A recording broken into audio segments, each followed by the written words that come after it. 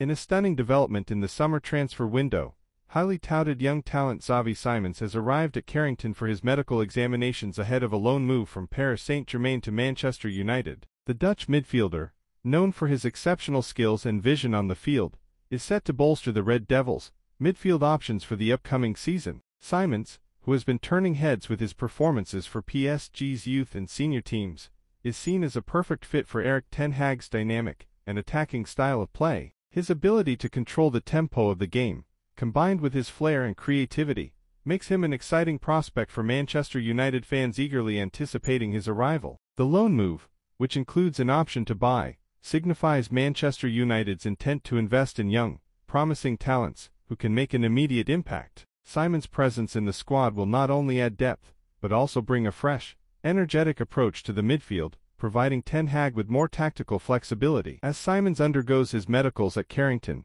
the excitement among the fans is palpable. Social media is abuzz with discussions about how the young prodigy will fit into United's plans and what he can bring to the Premier League. The anticipation is building, and supporters are eager to see Simons don the famous red jersey. This move could be a game changer for both Simons and Manchester United, potentially marking the beginning of a new chapter of success at Old Trafford. Stay tuned for more updates on this exciting transfer. Don't forget to like, comment, and subscribe to stay updated on all the latest Manchester United transfer news and more.